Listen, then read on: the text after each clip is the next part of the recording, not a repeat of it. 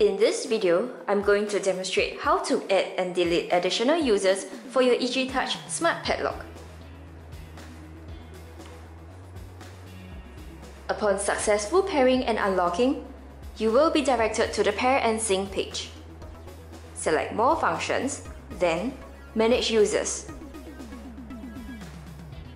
Select Add User and enter the new username and password.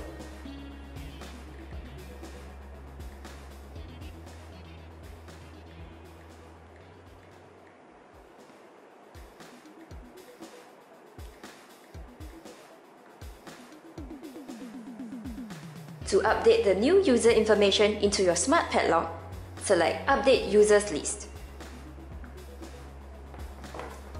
Activate the lock by pressing the shackle firmly against the base. Tap your smartphone to the indicated receiver area. You will hear an audible buzzer sound and see a notification on your smartphone, indicating a successful update.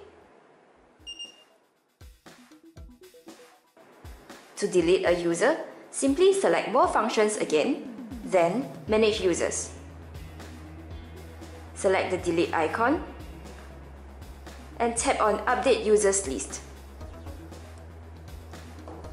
Activate the padlock again and tap your smartphone to the indicated receiver area.